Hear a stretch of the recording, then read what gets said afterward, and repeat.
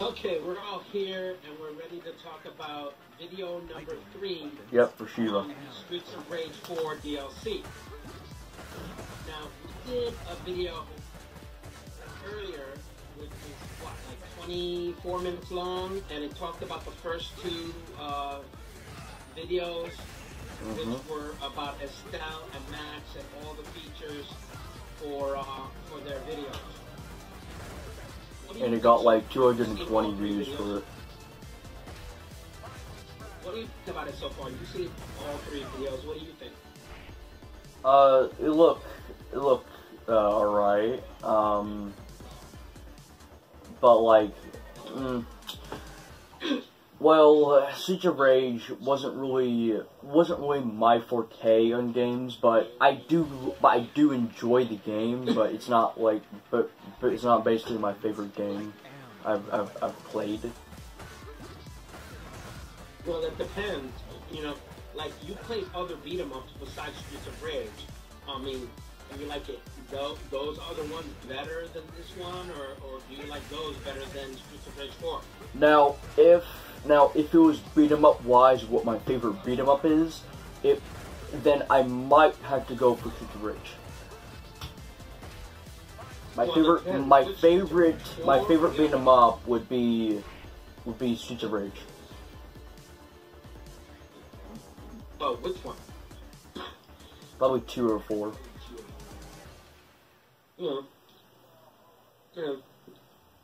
Well, everybody has their opinion on that part of the saga, but anyway, now that Shiva's the third character, I keep thinking maybe they'll release another DLC um, based on, on on either the release date or what other features we might find on the DLC. I mean, they revealed a lot in the first DLC, in the first, in the first, in the first trailer about Estelle. You know, they talk a lot about Mr. X's nightmare, what kind of weird stages we'll be playing in, what kind of weird weapons we'll be getting. Because it mentions new characters, new weapons, new stages. But, you know, it doesn't mention any of the things I want in the game. So I'm assuming those things are probably not even going to be available. Which is kind of fucked up because that's what, what I really wanted. But maybe, just maybe, they'll save that for when a Streets of Rage 5 comes out. I mean, you said it yourself. You got um text messages or or, or, or, or posts Comments. to your to your to your um to your um thing Video. talking about Yeah. yeah talking about the video that we did last time because a lot of the fans want uh, um, the character Eddie Skate Hunter or or Eddie Hunter um, you know uh, Adam Hunter's uh, younger brother. They want him to be a playable character for for for Streets of Rage but he's not. I mean they got his playable his playable silhouette in Streets of Retro Rage 2 and 3 for as playable as um, for for part four, which is pretty cool. But they want a new um, you know model like they did for all the others. What do you think? Is that a character you'd like to see? I mean, yeah. I mean, I mean, yeah, because I mean, they did one for Max. They did one for Axel, for Cherry. I think. I think. Did they do one for Cherry?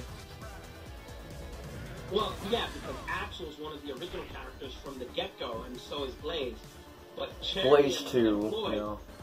Adam Cherry Adam Floyd, Hunter. They're basically new characters, but they're not part of the Cherry and Floyd. They're basically new characters to the Streets of Rage universe. No one's heard of them until now. Okay then. So pretty much they should, in, in my opinion, they should actually do it for for Eddie Skate. Probably because they already did one for Adam, they already did one for Axel, already did one for Max, and Sh- and Shiva in in the new DLC. So they should do one for for Eddie. Even then, and they also should do also should do one for um, Dr. Zam. Who? Oh, Dr. Zan? Yeah. Yeah, that's true. I mean, they show a, a, a picture of Doctor Zan in, in the uh, in the background for the Mr. X's nightmare. So that's probably what he looks like. And all they have to do is make a cartoon version of him, give him fightable moves, uh, and then and then put him in the game.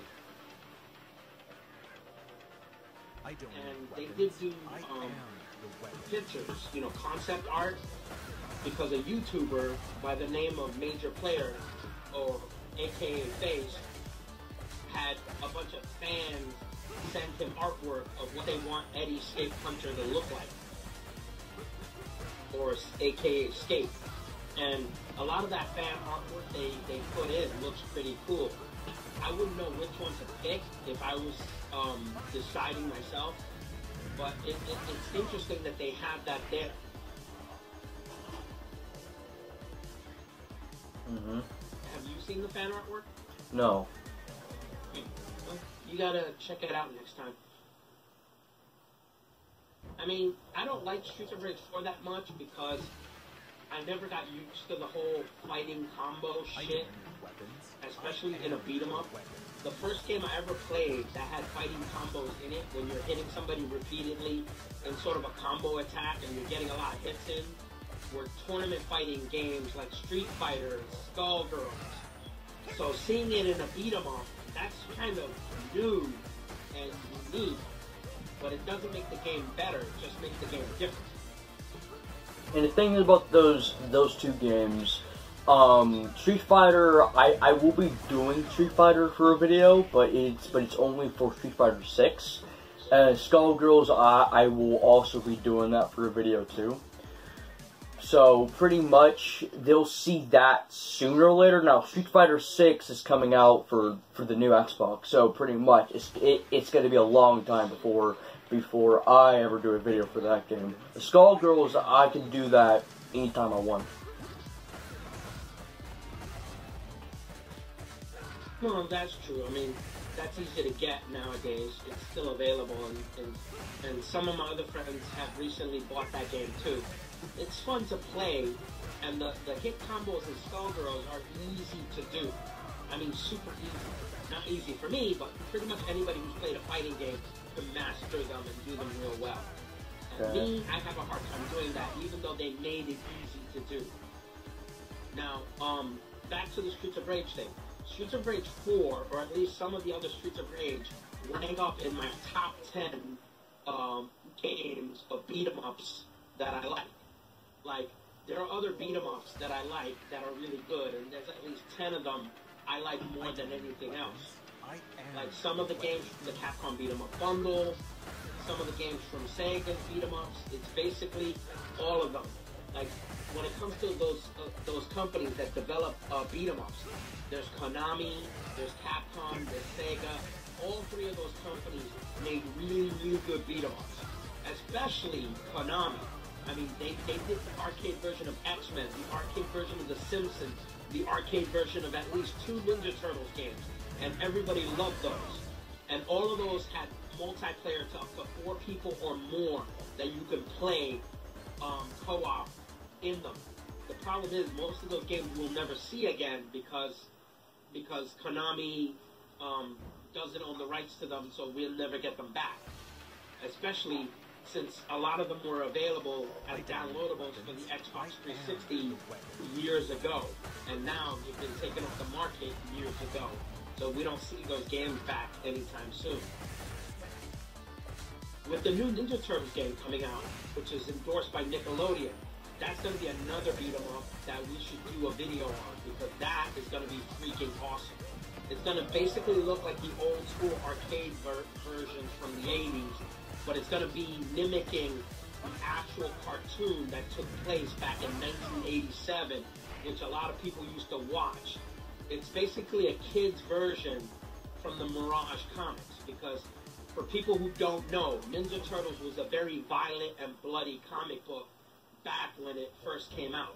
They had to tone it down and make it kid friendly for kids because they didn't want to show all that type of violence and bloodshed. am the weapon. But, you know, have you ever played a Ninja Turtle game? No. Would you like to. Not really, no. Uh, you, you don't know what you're missing out to. They are fun, and a lot of them that came out have been pretty good so far. In fact, out of all the fighting franchises that have pretty much let me down, Ninja Turtles is the only co- company and franchise that's never disappointed me. I've been disappointed with fucking Saints Row, Streets of Rage, um, Tomb Raider, and, and a lot of other franchises that have released piss poor games lately. And and me, I'm thinking, you know, the companies never learned from their fucking mistakes. They've released a lot of fucking games I don't like. And even though there's so many people still believing in those games, like there's a lot of people still believing that they'll make a really good Saints Row sooner or later. I'm thinking those people should should just forget about wasting their time about that. And I'm hoping that if they do make uh, a Streets of Rage 5, it better have it better have online multiplayer to up to four people or more, dude. Because that's what I really want to see. If if they make it available, or if they make a new DLC that gives you the ability to play online multiplayer with up to four people, then that's something I'm going to spend money on. What about you? Uh, I don't really care for it that much. I don't. I don't really mind it. It, it, I, I don't really mind it if they do, or if they do put I don't put multiplayer up to four people, or they don't. I don't really mind it. True, but it would be nice to play with like four of our friends, and that would make a really cool uh, thing.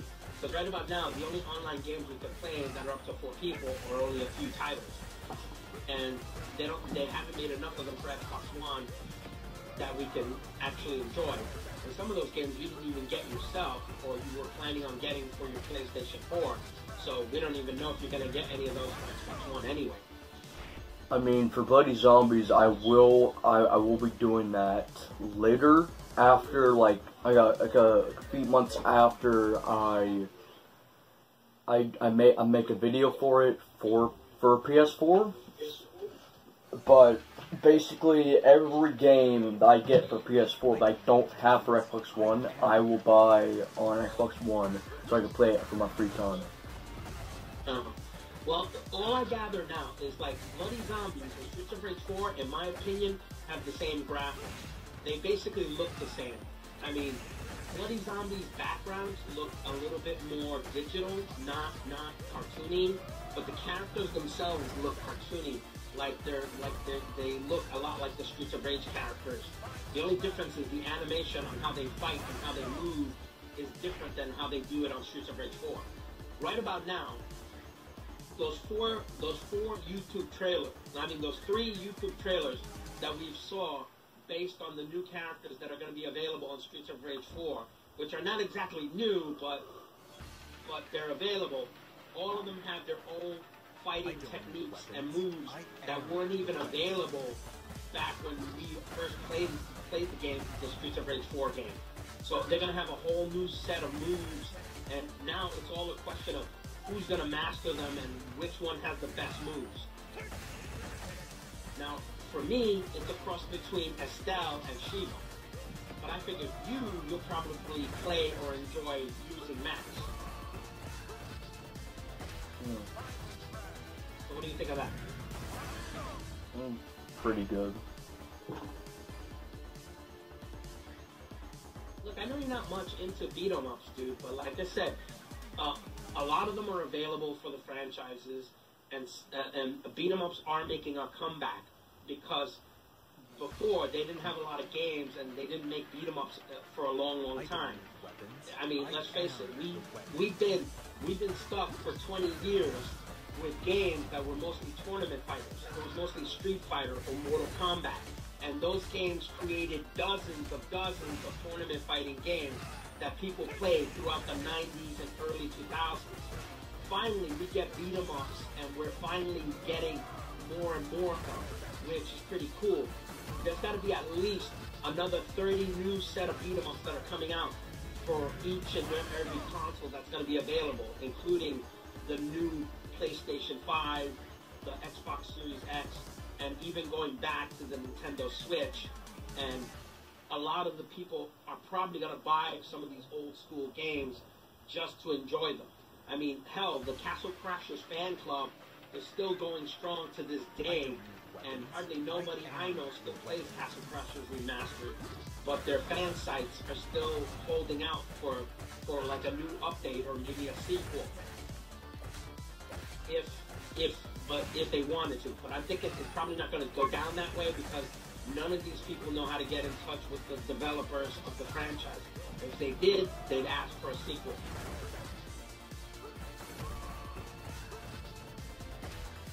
honest with you. I don't I don't hate beat 'em ups. Uh, to me, it has it, it it has always been this. I enjoy all games, all games, but but the thing is like like like you so you yeah yeah, yeah like when you see like a trailer or gameplay of a game, like Roblox or Fortnite, anything like that. Now Fortnite, I know you played that because you told me that, but Roblox you haven't and and you and, and you keep on telling me, hey, no, Roblox sucks. But once you play it, you might enjoy it, or or it might be the like the same the same answer. And that's why and that's why for me I don't say that to games because because uh, because once I play it I'll have I'll have my opinion of the game. True, but sometimes, sometimes I've seen enough, and I pretty much know what what the game's about. And once I get enough information, I pretty much make make my opinions. Now I've seen Roblox, and it looks nice, but I don't like it because it's basically a Lego wannabe type game. At least from what I've seen. I mean, it does have features that are not in certain Lego games, which probably make it better than your average Lego game. But since I don't like Lego games, period, I'm not into that. I mean, if, if I want to play with a bunch of Legos, I'll buy some Lego toys, build my own Lego empire, and play the toys in real life instead of just playing a video game where I'm controlling toys. It just doesn't make sense. That's why I think Roblox sucks. Because it's basically the same thing. It's, it's it's a franchise copying a franchise. Now I don't mind franchises copying franchises, but they have to give me a reason to want to play the game. And basically, from what I've seen, Roblox doesn't entice me to wanting to play it. I, I mean, weapons.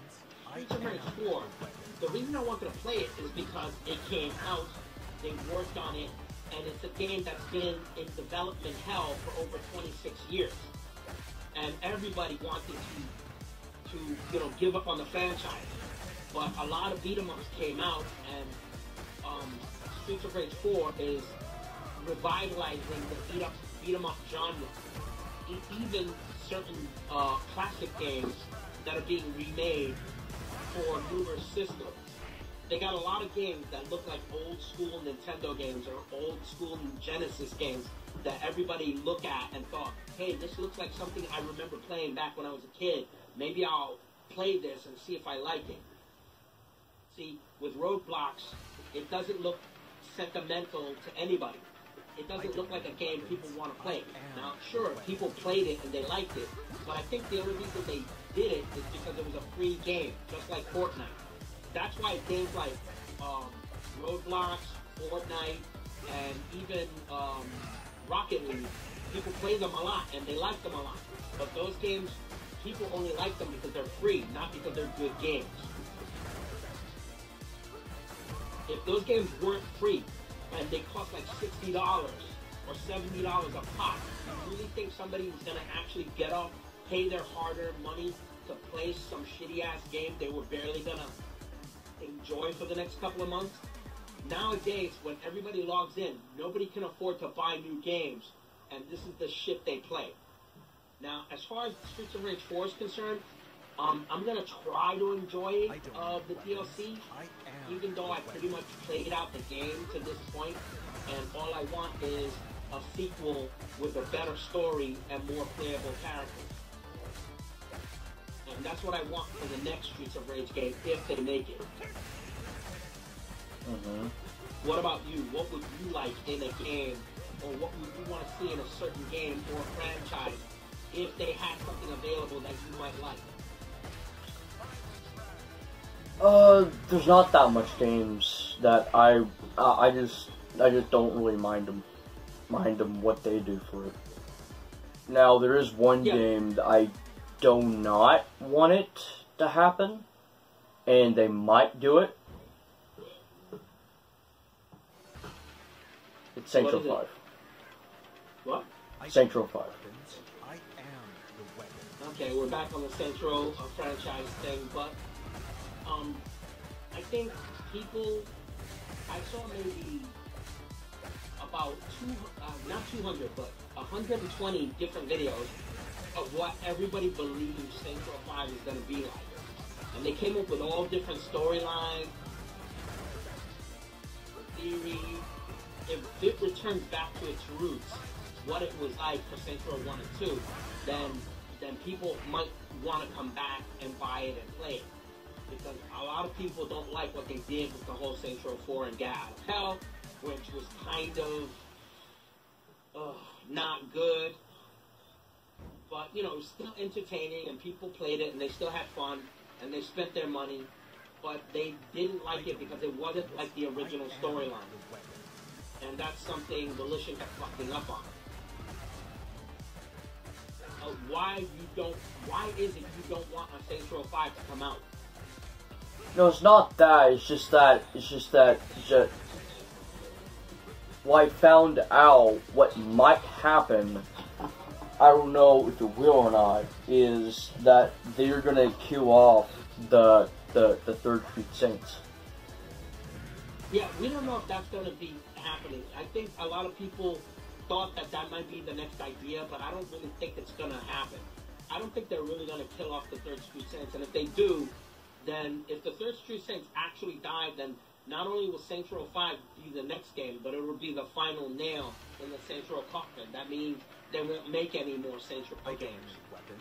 Unless they make a Saints Row game based on a whole new gang, and then it gets a whole new name, and then it'll be a lot like Agents of Mayhem, not Saints Row.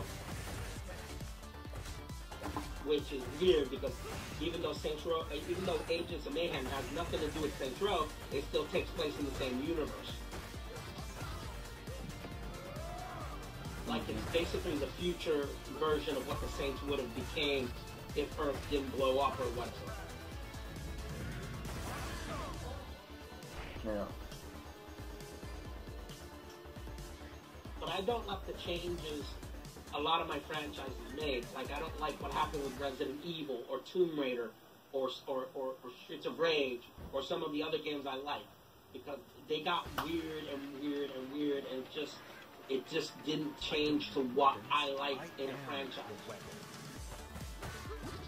Now, if people if people really want a new character like to come out for Streets of Rage 4, then they better start uh, talking to the creators of Streets of Rage 4 and giving them ideas for Streets of Rage 5, so that way we can get some of our old characters back, like Eddie and Dr. Van, and, and then that's it. And, and maybe some more people that we might like that would be good for the franchise. Um, didn't you say that like uh, the the day after we made that that first video talking about the game? Didn't you say that you had more stuff? And now is the now is the chance that you can can say that more stuff. I am the weapon. What, for the DLC for Streets of Rage 4? Mm-hmm. Well, so far I've seen all three trailers, and I haven't seen anything new in these trailers. Everything that I've seen in this trailer are pretty much, pretty much everything I knew was gonna come out. I knew that the three playable characters were gonna be Max, Shiva, and, and, and Estelle.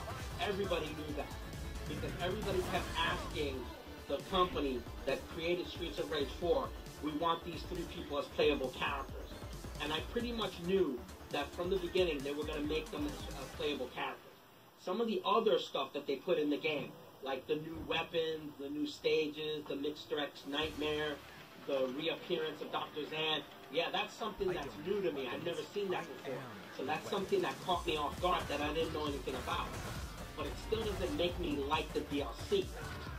And the only reason I'm gonna buy it is not so I can play Mr. X's Nightmare, but so I can play as the three new characters and see how much fun I can have with them. I mean, I don't know if you're gonna get it. I mean, I will. I mean, I don't, I don't know because like I didn't see you buy Streets of Rage 4. I mean, you, I, I think you mostly rented it from Game Pass.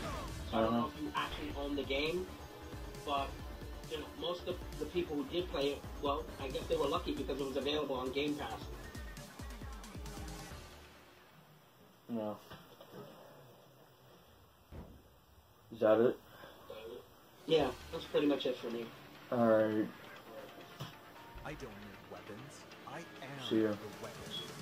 See ya.